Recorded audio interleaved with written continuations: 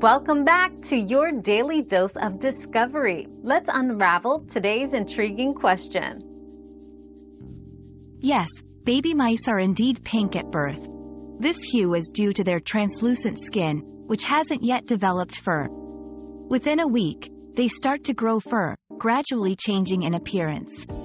Understanding this can help in identifying and caring for young mice, whether in domestic or wild settings.